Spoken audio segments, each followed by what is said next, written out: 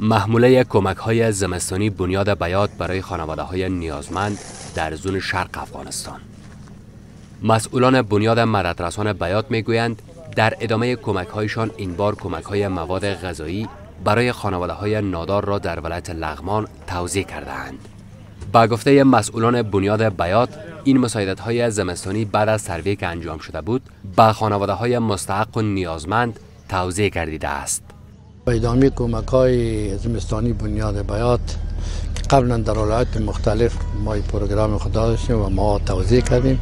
امروز خوشبختانه در ولایت لغمان آمدیم که برای یک تعداد مستحقین مواد توضیح می‌کنیم که لیستش قبلا از طرف تیم بنیاد باید در ولایت لغمان جمع آوری شده که مواد شامل هار دروغه را برین می باشد توضیح می‌کنیم و چند ولایت محدود دیگه آمد انشاءالله با دودی برشان توضیح می‌کنیم این بسته های کمکی که شامل آرد، برنج و روغن می شود هدف آن دستگیری نیازمندان گفته شده است.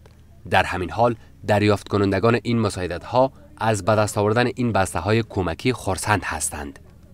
یعنی غټ کومک کې او ډیر غټ مثال خلکو ته شټپنۍ ده په دې وخت کې دا کومک د انجینر صاحب حسان الله بیان خدای پاک دې خورز ورکې په دې غریبۍ په دې فقیرۍ کې موږ سره مرسته وکړه. په دې ناچارۍ کې دې قیمتي کې. خدای پاک د نورو مسلمانانو ته ورکړي دغه ټول سره مرسته وکړي. دغه سي نورم غټو مالدارو هیله کوو چې مونږ سره بیوزلو سره کومک وکړي او مونږ بیچاره مسکین خلک په بازار کې کراچۍ چلو دی ورځې سلويخ روپیا دیش روپیا وکړو. چې چې شي نشته مجبوری د قیمتي د ایس د ماشومان ته مونږ نه رسیدګي کوو دل لپاره خوشحالیم که همیشه دا کمک وکړي مسئولان بنیاد بیات می‌گویند که کمک هایشان به خانواده های نیازمند ادامه دارد و به زودی باشندگان شمار از ولایت هایی که از این کمک ها مستفید نشدهاند برایشان بسته های کمکی توضیح خواهد شد.